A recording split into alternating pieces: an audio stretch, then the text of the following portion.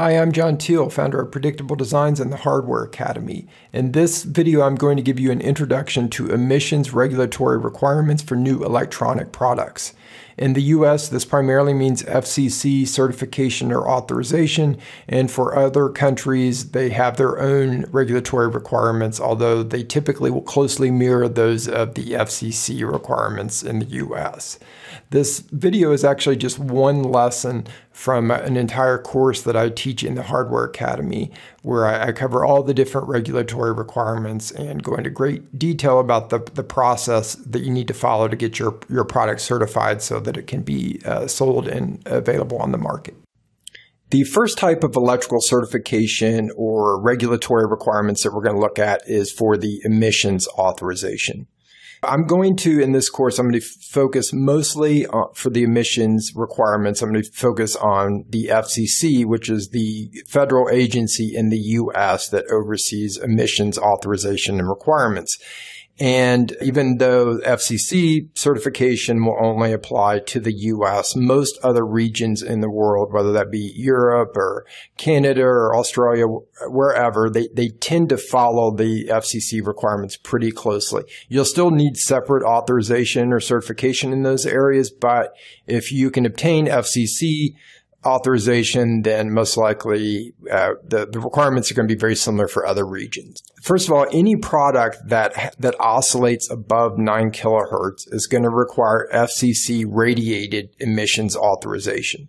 It, it, doesn't have to be a product that has a, a wireless radio in it. It can be something really simple, and it's it's most products are going to have something in there oscillating above 9 kilohertz. It's pretty rare for a product that, at least from my experience, to not have some circuit in it oscillating at at least 9 kilohertz. If it has any type of microcontroller or microprocessor, then it, it's going to be oscillating in megahertz or gigahertz. And it's uh, going to be rare that you're ever going to find anything that's going to be oscillating less than 9 kilohertz. For most products, you're just going to need to assume that you're going to require some type of FCC authorization. There are two types of products in the eyes of emissions uh, requirements or authorization, and these are licensed or unlicensed products. For instance, police radios or ham operators; those are licensed products or networks because you have to have a license to be able to be a ham operator or a, have a police uh, a police radio that you can transmit on. Those are examples of licensed.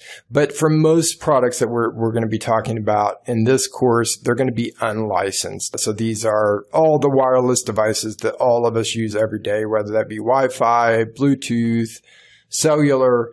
Um, these are all different wireless forms of communication that are unlicensed. We don't have to have a, a special license to have your Bluetooth product. That's what we're going to focus on because licensed products tend to have their entirely different set of requirements um, in regards to emission. The FCC has an, a completely different section of the code that are for licensed products versus unlicensed products. We're going to focus on the unlicensed. Then there are two classes of what the FCC refers to as digital circuits. So these digital circuits are non-radios, your, your microcontroller, all the other parts of your circuit that aren't purposely emitting electromagnetic uh, radiation. And so these are classified in two different classes. Uh, there's class A, which is for industrial products, and then there's class B for consumer products. Class B, which is for consumer products, has much stricter requirements than an industrial product because in, individual consumers are using it. You, it's not going to be in a controlled environment like in a factory. So the emissions uh, limits are going to be much lower uh, what's allowed, uh, allowable emissions are going to be much lower for something that is uh, certified or authorized as a class B versus a class A. And that even being said, most industrial products, they, they start off with the intention of, of trying to get class B uh, classification because that's going to just give them bragging rights that they, they have uh, less emissions. But if they don't meet that, those requirements, then they will commonly fall back to uh, just being considered a class A device with the higher emissions. And then we have part 15 versus part 18. And what this is referring to is the Code of Federal Regulations in the US. So it's a huge document with all these federal regulations. And there are different uh, sections. There's a section 47 where most of this falls under. And then there are different subsections or parts to that section 47. Part 15 is what is the, the part of the code that's going to govern most of the products that we're going to be talking about. Part 18 is a special part of the code that is specifically for products that are using radio frequency RF energy to do some type of work. Not just transmitting information, but doing some type of, some type of work using that RF energy. There are three different types of radiated emissions uh, requirements from the FCC. First of all, let me specify there are two types of emissions. There are radiated emissions. This is RF, electromagnetic energy that's being radiated into space. That's radiated uh, emissions. And then we'll also talk about conducted emissions, and that's when you have RF energy going in a, a wire, a connector of some sort. The, the three types of radiate emissions are, the first type is called an incidental radiator. And these are, I'm not going to spend hardly any time on this because it's, it's very rare that this applies to most products that, that I see. An incidental radiator is, is something really simple like a, a mechanical switch or a DC motor, something that in no way should be intentionally producing radio frequency energy. These types of products are, are very lightly regulated. Uh, there's no certification process. It's really lightly regulated, but rarely most of the that tends to be more for if you're developing a, a new component. Most of the projects I see in the academy are not people developing a, a new mechanical light switch. They're obviously much more complex than that.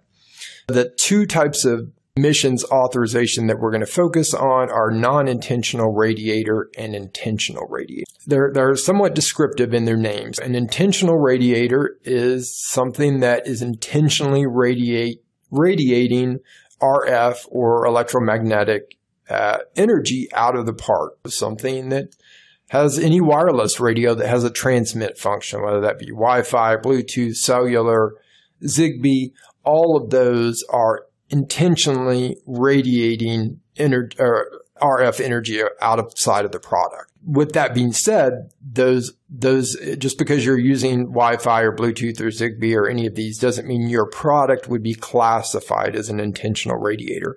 Uh, I'm just giving you more the the description of what is meant by an intentional radiator. I know it's a little confusing, but there are there are basically ways to have your product, even though it's intentionally radiating RF, there are ways to have it classified as a non-intentional radiator. And I'm going to go into more detail on that. But an intentional radiator is something that is intentionally radiating RF energy. A non-intentional radiator is something that's not intentionally radiating the RF energy, but it just does it of a byproduct of its normal function. For instance, let's just say you have a product with a microcontroller. No wireless radios. Let's just say you have a microcontroller and an accelerometer. Well, that even though there's nothing in there that you're not using Wi-Fi or Bluetooth or cellular, so you're not intentionally wanting to make your product wireless, but still it's going to radiate RF energy. If you have a microcontroller running at a few megahertz, that's going to output, that's going to radiate some RF energy.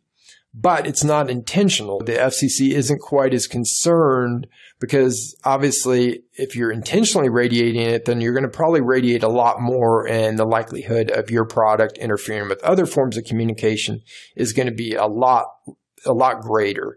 It's if your product is classified as an intentional radiator, it's a, it's a much stricter process to get it authorized.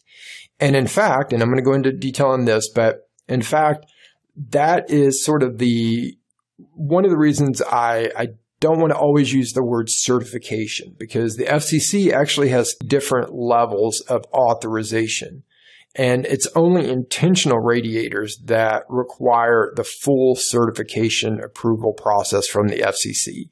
So that's that's one of the main differentiators, and that's that's why it's it's very much uh, to your benefit if you can design your product so that it can be classified as a non-intentional radiator because that's just going to uh, drastically reduce the complexity and the cost of getting the necessary authorizations. Then, as I had mentioned, in addition to radiated emissions, there are also conducted emissions. This is going to be required if your product uses is plugs into eh, uses AC power, even if you're using eh, even if you have an AC to DC converter, if it's con- if it connects into an AC outlet, you're going to have to have it. You're going to have to pass conducted emissions testing because they're wanting to make sure that you're not feeding RF energy back into the AC line.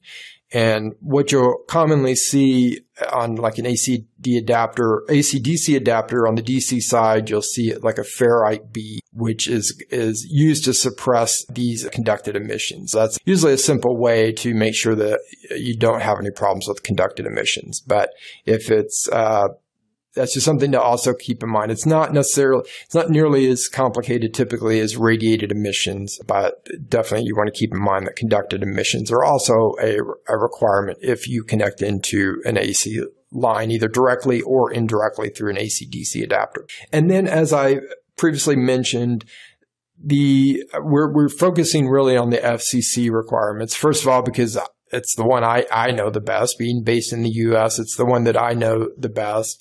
And then also just because the, the U.S. is the world's largest economy, most of the other areas around the world have very much based their requirements on the FCC requirements because it would just create a, a nightmare for uh, product companies if if they were completely different uh, requirements for or for every different country. That's, that would just create a, a lot of headaches. So, and most, there are differences and you still have to have it authorized and certified in your own country or region because the FCC is just purely, that's a, a U.S. federal agency. It has no, no, uh, bearing in other countries, obviously.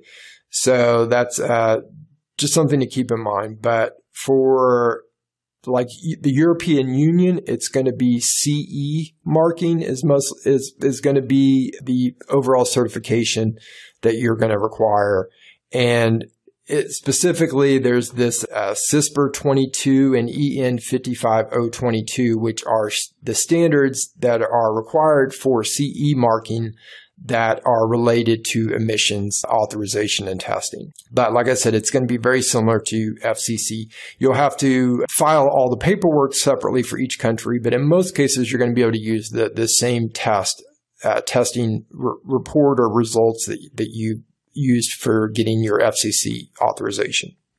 Okay, that's it for this video. If you found this topic to be helpful, then I suggest that you check out the Hardware Academy and inside as a member of the Academy, you can access the entire in-depth course on regulatory requirements for new electronic products.